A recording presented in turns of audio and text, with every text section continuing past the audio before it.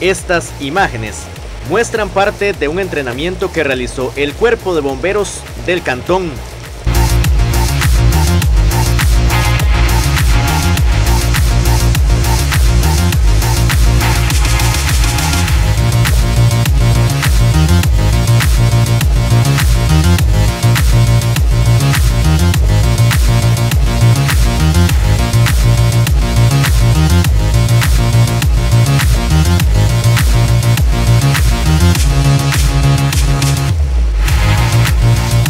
la situación que se vive con el paso de ondas tropicales y otros fenómenos pronosticados para lo que resta de 2022 impulsa este tipo de trabajos.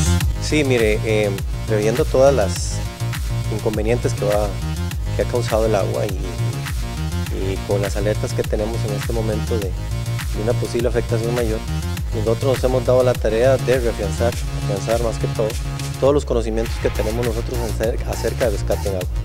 El domingo pasado realizamos una práctica aquí en el río en que consiste en realizar las diferentes técnicas, son varias técnicas, utilizando cuerdas, eh, personal con todo el chaleco, casco, eh, sistemas de recuperación de, víctimas, técnicas de cómo tirarse al agua para rescatarlo, etcétera, etcétera. Eso fue la práctica que consistió en nosotros.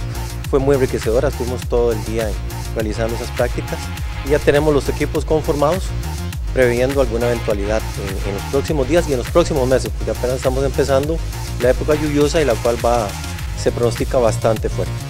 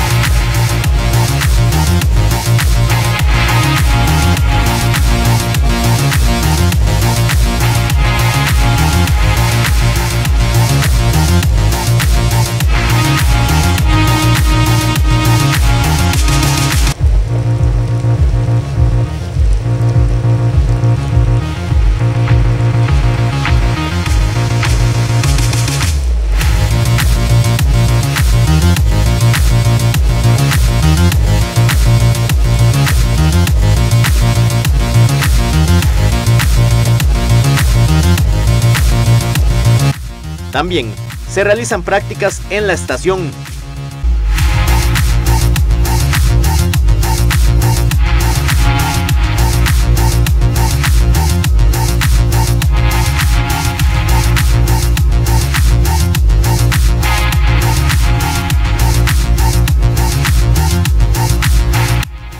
Mire, no solo eso, nosotros estamos en constante prácticas en, en todos los aspectos bomberiles. Eh, para nadie es un secreto, la comunidad ha visto un incremento eh, bastante fuerte en incendios en vehículos, en accidentes, en incendios en vivienda. Ustedes son, este, han visto por las notas que ustedes realizan.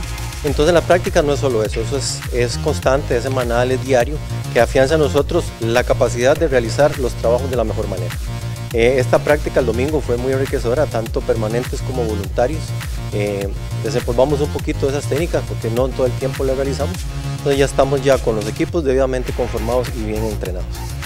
La preparación para cualquier emergencia siempre será un paso adelante para sacar una buena tarea.